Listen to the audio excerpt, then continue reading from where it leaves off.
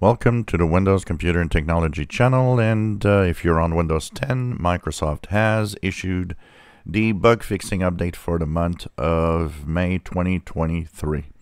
So if you go and check out your Windows update, you'll see that there's a optional um, update that uh, will be downloaded if you click the download and install button.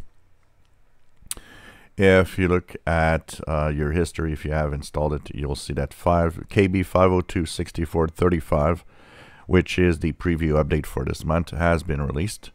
Uh, there's also a .NET framework that installed in my case at the same time, also with uh, this version of Windows 10. So this is the bug fixing update. Uh, it contains a couple of changes, apparently um, a little bit of change on the way the search works. So there's an update for that that has happened. And also the notifications, apps that use notifications, uh, you will be able to display uh, more notifications at the same time. So there's a few little things that they've changed here. But for the most part, it's bug fixes. Um, most of them are the same as Windows 11 21H2, which uh, was released. Problem that uh, issue that affects the um, tab settings in the IE or Internet Explorer mode sites in um, Edge.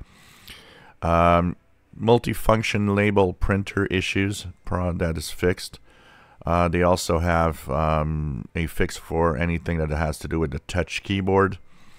Uh, sometimes the uh, the touch keyboard failed to open, so um, this is uh, what we have. And um, in in the fixes here. So in total it's like 18 fixes that is in there uh, with the uh, the um, two little changes that they made.